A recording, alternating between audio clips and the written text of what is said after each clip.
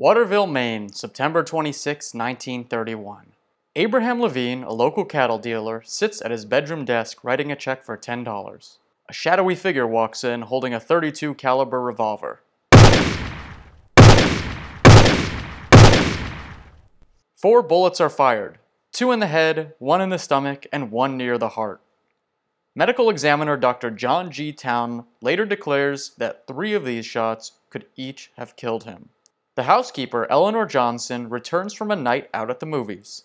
She discovers the body laying in the dark, doesn't recognize who it is, and calls the police. The cops get confused and don't show up, so she goes into town to tell them in person. But first, she stops off at a dance hall where Abraham's older brother, Merton Levine, is dancing. She tells him what happened, and he rushes home before the police get there. Someone murdered Abraham Levine, and it seems obvious who's going to be accused first. Now, black people in the United States have been treated pretty poorly throughout most of its history, and this story of Eleanor Johnson that we're about to dive into gives us a snapshot of what race relations in 1930s Maine looked like. And it wasn't very good However, we're going to be getting into a lot of the details of the questioning that was done towards Miss Johnson and while we can't really draw any conclusions, having not been part of the investigation ourselves, um, there are some circumstantial details that are very, very suspicious with regards to certain person who was let off the hook who may have been involved in this murder.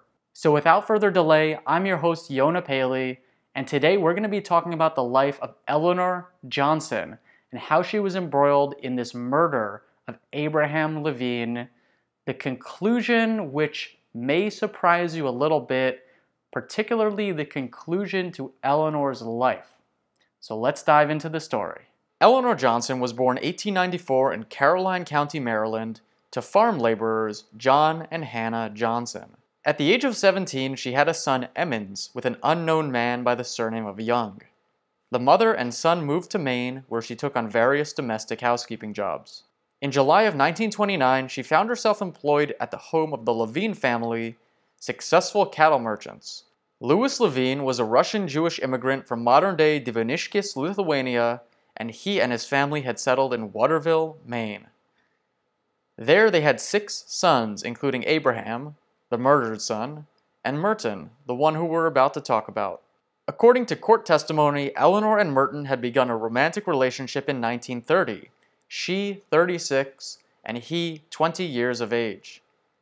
It had taken aggressive police questioning to get Eleanor to admit to the relationship, something which Merton initially denied when confronted about. Inspector McGuire would later call him a rat for having such a callous attitude toward women. Eleanor claimed that Merton had asked her to buy him a gun, and that afterwards he had revealed to her that he had committed the murder. Now, Merton vehemently denied the claim and said he was being framed, and to nobody's surprise, the defense made clear its intention to place full blame on the housekeeper.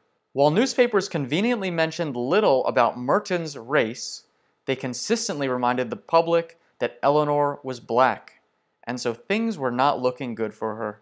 Although both of them were arrested, the grand jury decided not to indict Merton, but they did indict Eleanor. There were questions over whether the gun she had purchased was even the gun that was used in the killing, and at the end of the day, it was her word against his. Pages of detail about court testimony and questioning showed the story from Eleanor's point of view. She maintained that she had no knowledge of Merton's intentions, although there was one time where he was so angry at his brother that he had told her that he could kill him. After Abraham's death, she said, he had exclaimed, Oh, why did I do it? He had also later answered police questions evasively, exclaiming, I didn't murder my brother, multiple times instead of properly explaining his side of the story. Prison was tough for Eleanor. She lost 20 pounds and went through a great deal of mental strain a strain which she credited only God for helping her get through. But finally, when the trial came, there were some saving graces. Several witnesses had seen and remembered her at the movie theater on the night of the murder. She had gone to see a mystery film called The Spider, and that was corroborated in a big way, both through ticket sales as well as eyewitness accounts. After a tense several hours and an impassioned plea from her defense counsel, a verdict was given. Not guilty. The courtroom burst into applause, which lasted several minutes. Eleanor was freed, and Lewis and Merton Levine returned to tending their cattle business. The mystery is still considered unsolved to this day. But what became of Eleanor? You may be surprised to learn that she had quite a lot of life left to live. Following her release, she remained in Maine for some time before moving to Scarsdale, New York. She eventually married a man named Charles Robinson, and through her son Emmons, had dozens of grand, great grand, great great grand, and great great great grandchildren. At age 84, she gave a follow up interview about the case, lamenting the fact that she was treated differently for being black. And if you think the story ends here, well, just wait, because 25 years later, at the age of 109, she was presented the Boston Post cane by the town of Skowhegan, Maine. She had outlived her son Emmons, who had himself made it to the impressive age of 89. And what was the key to her longevity?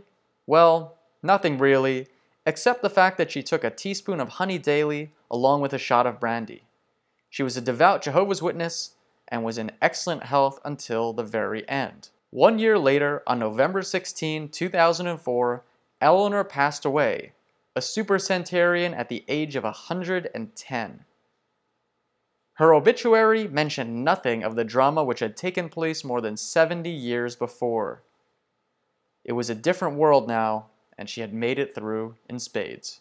Now, if you were paying attention to the details of the murder story, Merton Levine never went to trial. He never made it past the grand jury, and in fact, Eleanor was put on trial and acquitted because all the details she gave that she testified to were backed up by eyewitness evidence. She had been to the movie theater, she had the movie stub to prove it, and this is where, while I can't claim to know what happened in this case, I have a very strong suspicion there would have been a huge incentive for them, unfortunately, to pin the blame on the black woman who had been living with them rather than admit that their son may have murdered their other son. And this just goes to show the levels of injustice that were around, especially back then, that people were so quick to jump on the black person as being the criminal. And we can see it in how she's talked about in the newspapers. She's always referred to by her race. The members of the household are not referred to by their race. She is. She's the one who ended up in jail. She's the one who had to defend herself, even though she clearly stated many times that she had a relationship with Merton. He at first tried to deny that. It turned out not to be true. She gave very detailed um, explanation of how she bought the gun for him, how he asked her to buy the gun. And unfortunately, everything was basically pinned on, well, she's lying, she's the one who did this. You can draw your own conclusions. Let me know in the comment section below but um, that's kind of my personal opinion. Once again, I don't have all the details of the case. I wasn't the police commissioner and I wasn't around then. But I would like you guys to just read through some of these newspaper clippings if you can. Come let me know what you think about this case. Was it Merton? Do you think it was somebody else? And then thank you so much for watching, and I'll see you in the next one.